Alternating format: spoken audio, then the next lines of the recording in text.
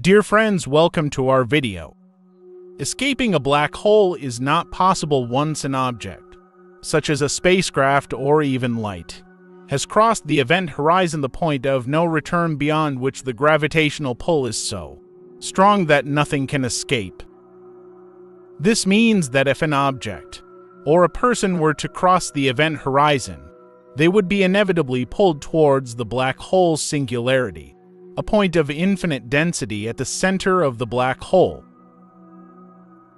The gravitational pull near a black hole is so strong that even light cannot escape. This means that anything that enters the event horizon, including a spacecraft, would be pulled towards the singularity and would eventually be crushed by the immense gravitational forces in fact, the closest known black hole, V616 Monocerotis, is about 3,000 light years away from us, which is an immense distance. Moreover, the chances of a black hole wandering close enough to our solar system to pose a threat are incredibly low. That being said, there are a few scenarios in which an object might escape from a black hole. For instance, in theory, it is possible for a spacecraft to use a technique called a gravitational slingshot to gain enough momentum to escape the black hole's gravitational pull before crossing the event horizon.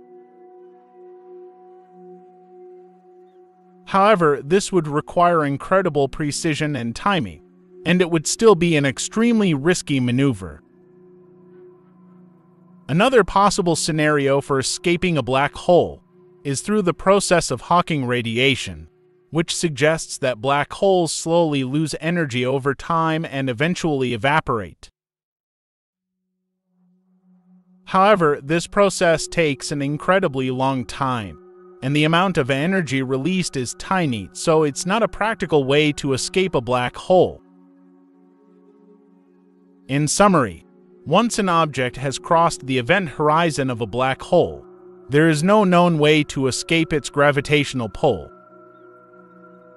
While there are some theoretical scenarios, for escaping a black hole, they are not practical or realistic solutions at present. Thank you for watching.